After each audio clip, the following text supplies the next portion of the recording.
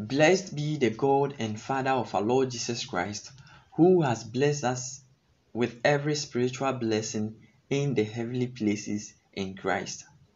Thank you for joining us on Spotlight on the Word sermon series. Today we are going to look at a very wonderful but short message. This message is about a popular phrase in the scriptures. This phrase can be found in the Old Testament and also in the New Testament. And so I would entreat you to spare me some few minutes of your time for me to share this message with you.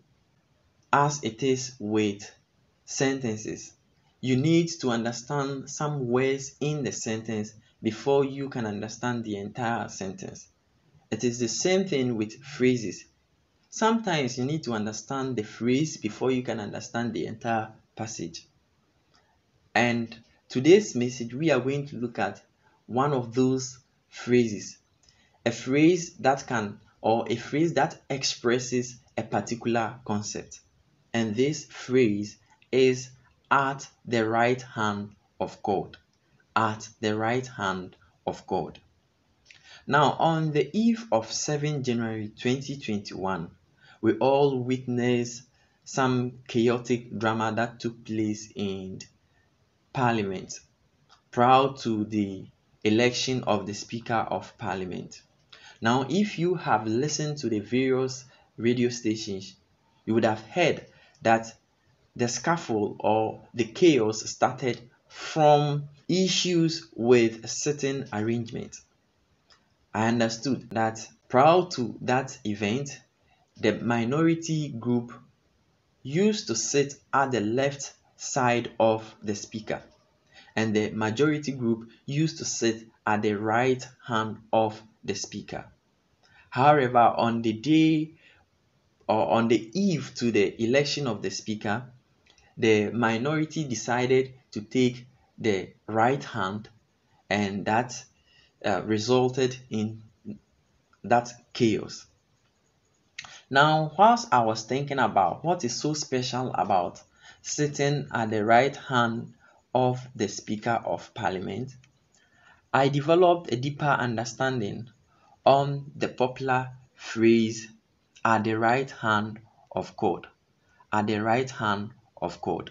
Now, this phrase, as I earlier said, we can see this phrase in various portions of Scripture. For instance, Exodus chapter 15, verse 6, Matthew chapter 26, verse 64, Luke chapter 22, verse 69, Hebrews chapter 1, verse 3 to 4 reads, Who being the brightness of his glory and the express image of his person, and upholding all things by the word of his power, when he had by himself purged our sins, sat down at the right hand of the majesty on high, having become so much better than the angels, as he has by inheritance obtained a more excellent name than they. So, in this particular passage, we see the right hand of God being spoken of. We can also see it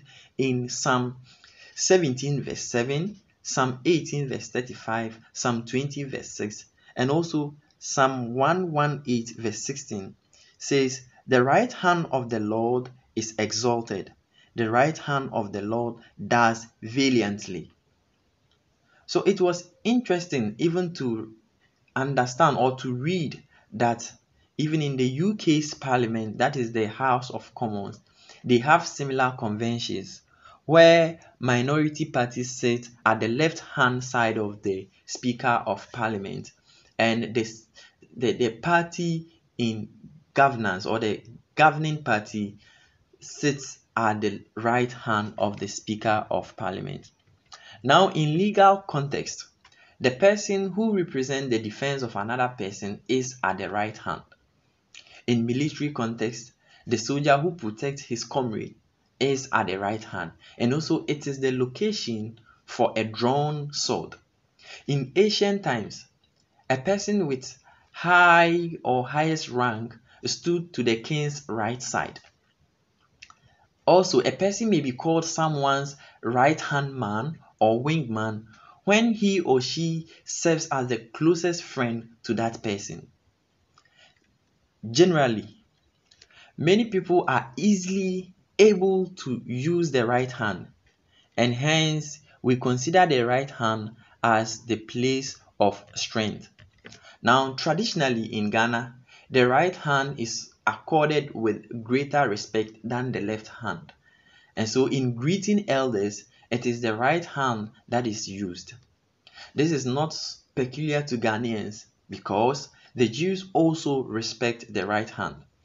It is suggested that it is because of this that is why Joseph was bothered when Jacob's hands were crossed and his right hand was on Ephraim, who was the younger, instead of Manasseh the elder, who was supposed to get the greater portion of Jacob's blessing.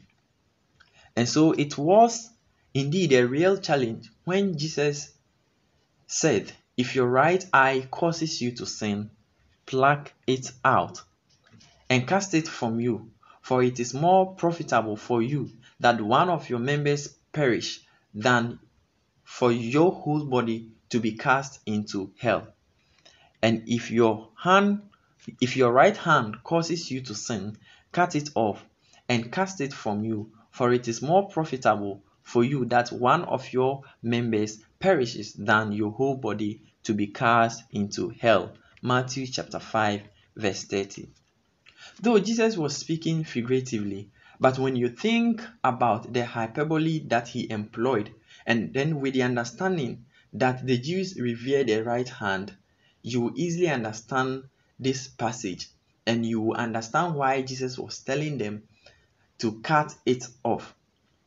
Moreover, Jesus' claim of being the Son of Man and sitting at the right hand of the power was one of the blasphemies that the Jews accused Jesus of. Mark chapter 14, verse 62.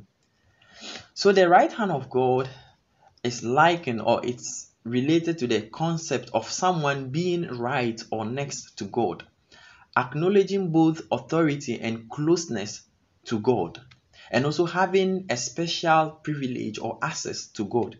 It can also be spoken of as having a place of highest favor with God, the Father, or being at a special place of honor or salvation or protection.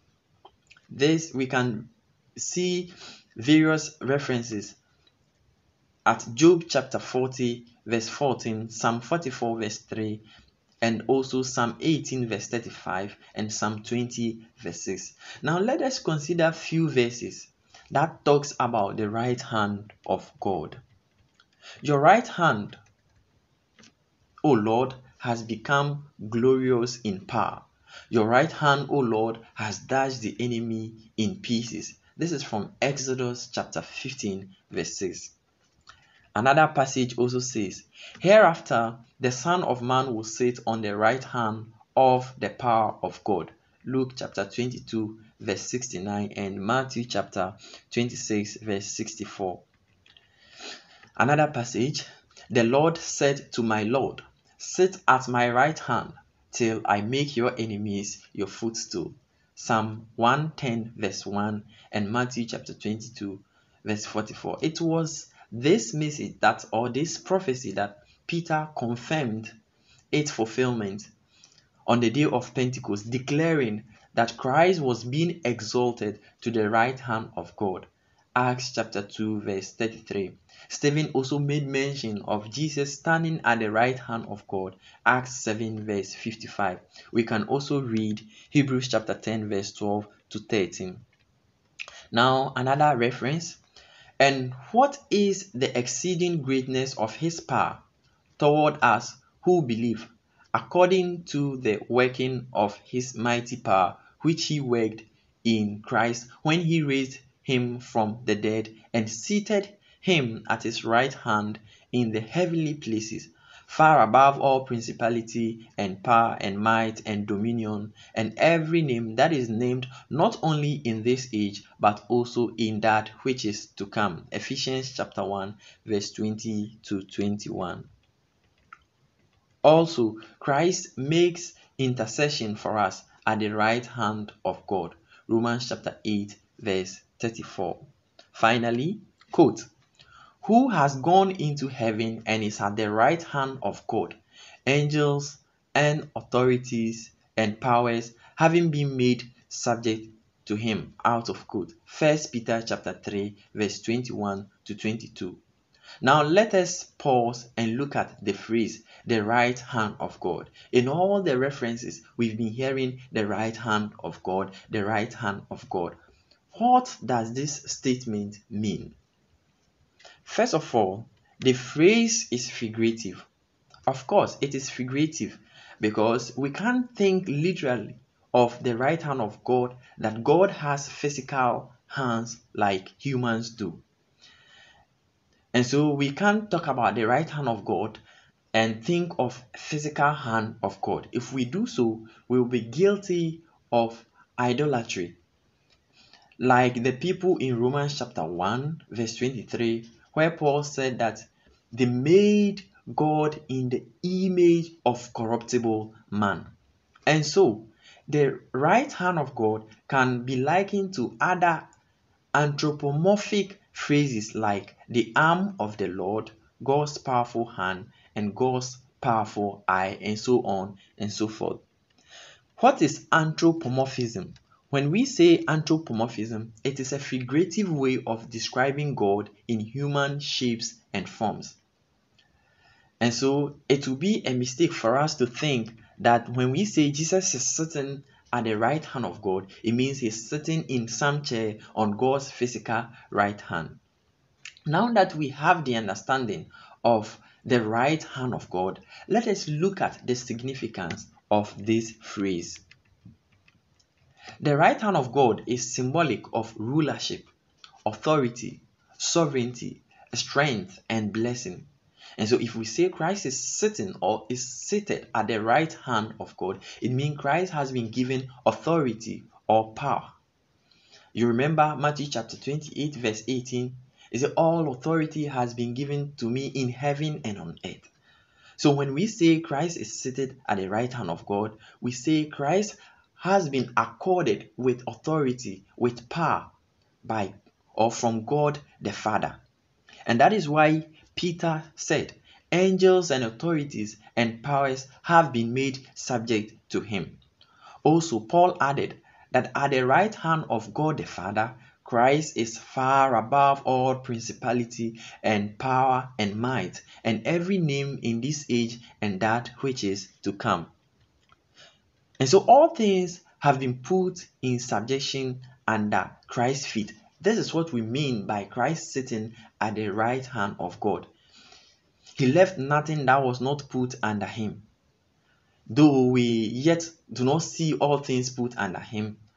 And so when we say Christ is seated at the right hand of God, we are saying that Christ is victorious over his enemies, including Satan, sin, and even death which is the last enemy to be destroyed according to First Corinthians chapter 15 verse 26 and so when we say the right hand of God we should think of it as a place of privilege as a place of authority sovereignty a place of what? Blessing. And it is more interesting when we remember that it is this privileged place that God will set the sheep Matthew chapter 25, verse 32 to 33. It says, All nations will be gathered before him, and he will separate them from one from another, as the shepherd divides his sheep from the goats.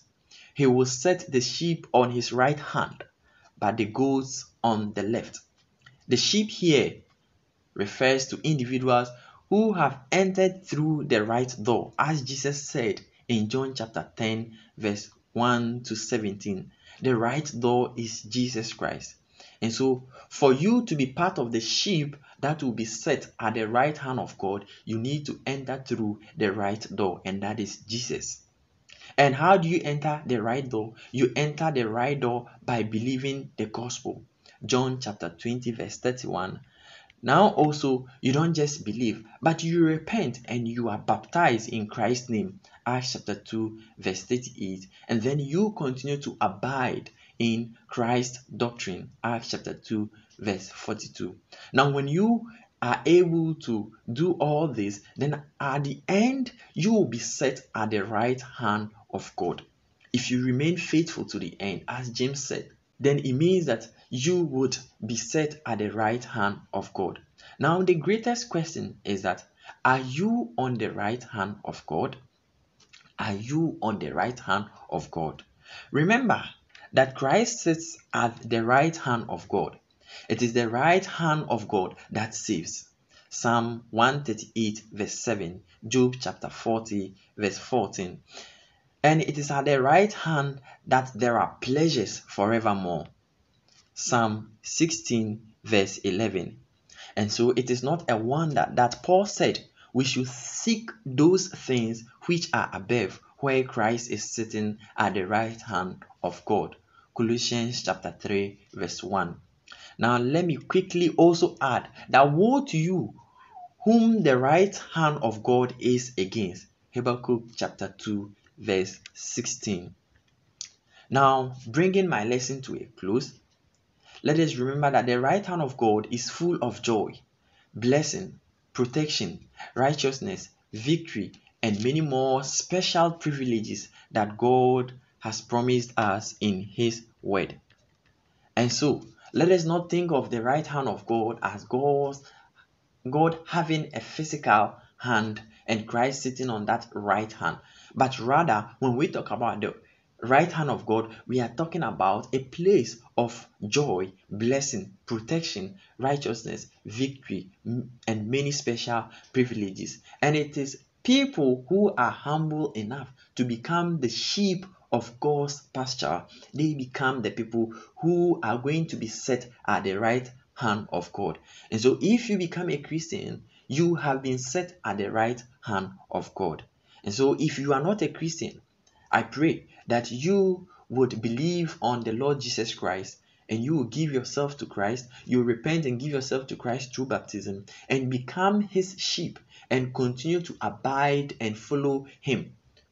And by so doing, you will be set apart or you will be set at the right hand of God.